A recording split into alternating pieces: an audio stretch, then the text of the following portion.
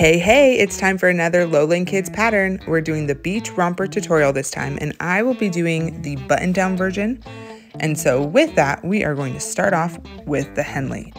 Some of the prep work that I already did includes cutting the line indicated down the middle of the front bodice piece, just until the notch, and then taking the two Henley pieces, ironing interfacing on the wrong side of each of them, and then folding them in half longways. Next, I am placing those Henley pieces right sides together on the right side of the bodice, making sure that the raw edges of the strips are lined up. And then I'm going to sew a straight line down a half an inch from the edge and half an inch um, past the bottom. So I'm marking those spots right now so that I can sew it properly on the sewing machine. After that is complete, it should look a little bit like this.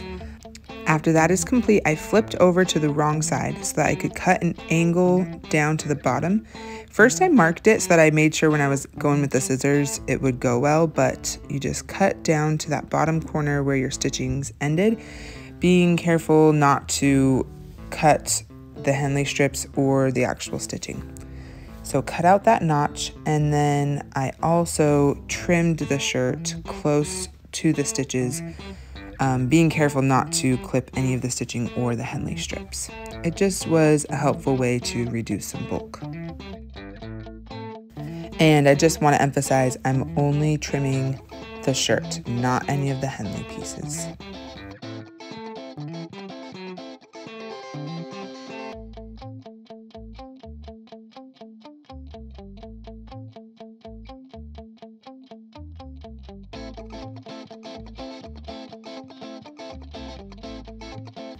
Once that is complete, um, I played around with it to figure out which side I wanted to be on top. And then I placed the Henley strip directly over the other, tucks the extra fabric behind, including that triangle piece underneath.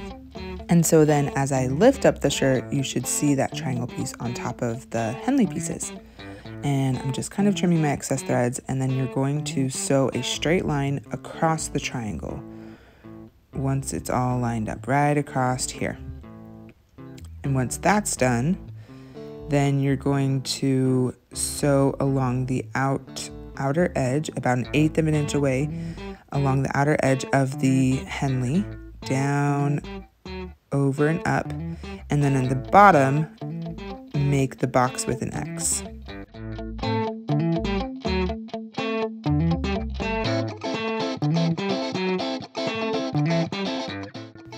Wow, it's looking so much better already. Um, so the next thing is on the back side to trim or serge any of the excess Henley strips for a clean finish. Um, and after that, it's time to apply the binding. So it's good to leave about an inch off of the edge of the Henley because we're gonna be folding that over later. So I left about one inch, clipped it in place, and then I fold the binding strip in half to find the center and also folded the shirt in half to find the center back. Line those up and just find um, yeah clip that in place. And then also put the other end on the opposite end also leaving an inch off the edge. If you're new to binding you might be surprised that the binding is much shorter than the neckline. That's on purpose. You just need to stretch the binding a little bit as you go, but do not stretch the neckline itself. Um, the purpose is that it's going to kind of scrunch in so that it doesn't look gapey or anything like that. So you're going to just serge or do a zigzag stitch all the way around. And just as you can kind of see how I'm letting it pull slightly so that it makes the fabric just fall straight and the binding match up with it, that's how much you'll want to stretch it as you go. Okay, so once it is attached, which by the way, we did it on the right side of the fabric, then now we're gonna do the fold over. So we fold halfway down to meet up with the raw edge or the stitched edge and then fold over to cover up the stitching. And so this is called a double fold binding. So just fold halfway down, halfway down and then all the way and you'll just put all your clips in place and then take that either to a cover stitch machine or using a twin needle. One mistake people do sometimes is they think that by doing two straight stitches all the way around that's imitating a double needle. Um, it doesn't work the same though because that doesn't allow any stretch and those stitches will eventually pop. So if you do not have a cover stitch, always either do a double needle or a zigzag stitch because it does need to be a stretch stitch. And go ahead and take that all the way around.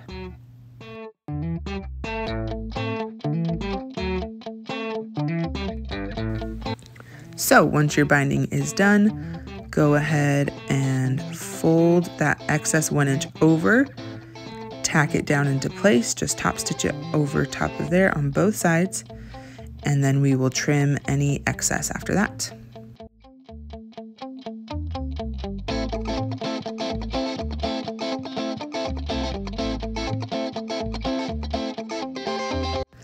It's looking great. Um, and then you can later mark the three or four buttons or snaps that you want to put in place and go ahead and apply them. Next is sleeves. I'm going to fold them in half to find the center point on the sleeve and match that up with the seam on the shoulder and do that for both sleeves. Um, sometimes I'll also clip on each end, um, but I don't do that as often anymore. But I do recommend it if this is new to you. I'm going to take that over to the serger or you can do a zigzag stitch.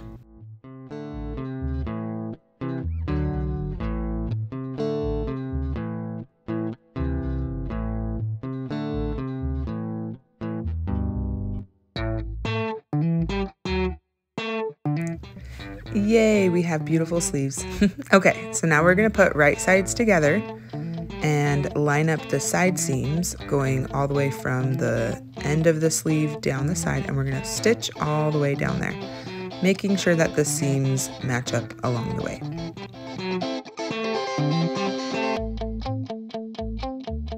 Now that the side seams are sewn, we're gonna set this aside and work on the bottoms. So take your two pieces for the bottoms and sew along the crotch seams for the front and the back. And once that's completed, we are going to attach pockets. If you're not doing pockets, you can skip over this part, but I say never skip on pockets. so if you um, marked your pieces, then you can go ahead and place your pockets accordingly. If you forgot to mark them, well, you can either make it up or hurry and go find your pattern pieces. Um, but you will want to make sure after attaching all of your pockets, um, I always place the pants right sides together to make sure that the pockets did end up lining up nicely.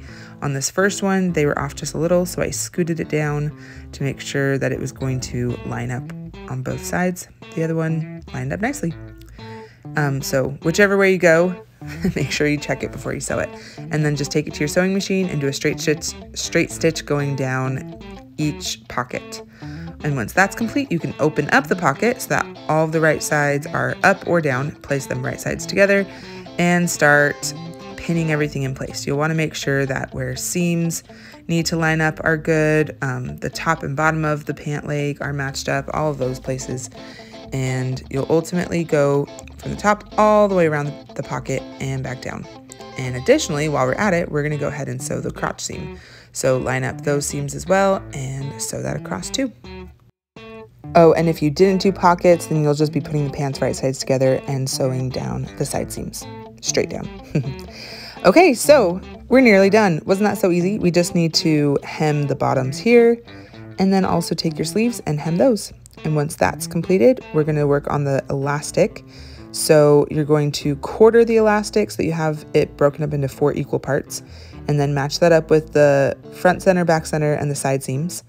Um, it's easy with the pants because they all have seams, but for the top, you will need to fold the top in half to find the center front and center back.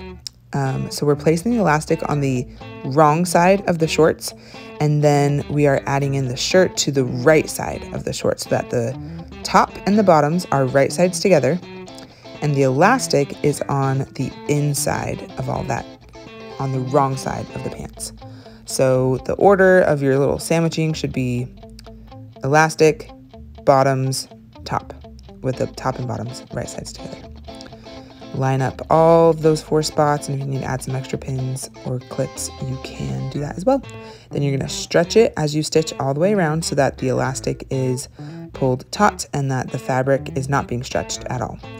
Once it's attached, it should look a little like this. It's almost a romper, almost. but we're gonna have one last finishing step and that's folding down the elastic and top stitching it in place. So we're gonna be folding the elastic downward towards the bottoms so that it kind of looks like the top is tucked in. It looks really cool, honestly. And I'm gonna give you a little peek. So that's what it looks like pulling up through the pants. But if you go from the top view, it's like it's going straight down. So you're just folding it straight down over the bottoms. And so I recommend going ahead and folding it down and pinning that elastic in place so that as you go to take it to the machine, it doesn't try to flip over on you or anything like that.